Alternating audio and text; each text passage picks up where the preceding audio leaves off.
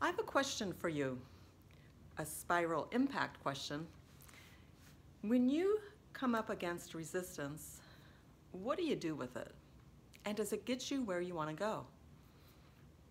Well, my spiral insight to that is there tends to be five ways to deal with resistance. You might choose to just back off. When you do that, you stop momentum. Second way, you might meet that resistance with more resistance.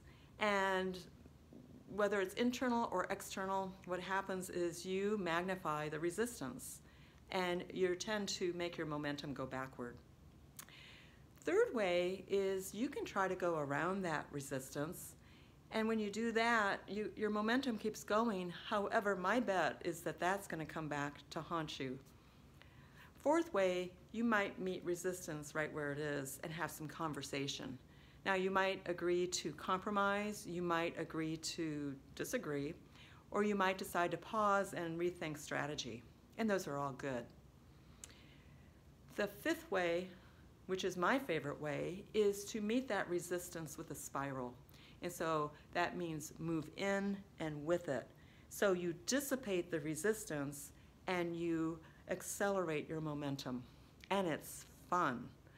And not only is it fun, you bring out the best in whoever you're dealing with. And, and that's always a good thing. And it could be your team members, your boss, it could be your clients, it could be yourself or your family. So, um, so think about that. There's five ways. I don't mean to make any of them wrong or right. The questions are, do you get where you want to go? And do you feel good about how you went about it? So if I haven't met you yet, I am Karen Valencic, founder of Spiral Impact, where we help leaders and teams generate the power to get it done with grace.